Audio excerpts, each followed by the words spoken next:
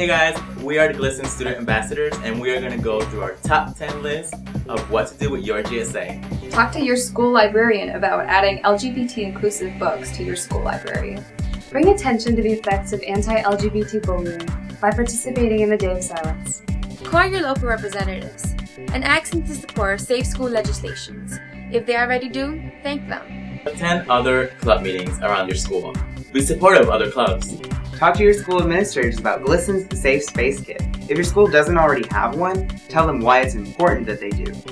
Create a resource list of LGBT-friendly organizations in your community and share this with GSA members and allies.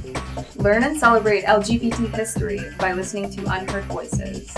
These are modern day accounts of LGBT heroes. Create an affirming and confidential environment for GSA members. Let everyone know that your meetings are a place where they can be themselves. Host a get-together with other GSAs in your communities. It's a great way for you to swap ideas, make friends, and think about how you can make your school safer on a larger scale.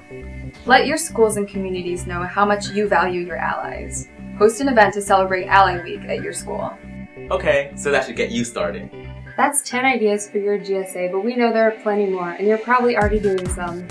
So leave your ideas in the comments below. We want to know, what are you doing to keep your GSA thriving and your school safe?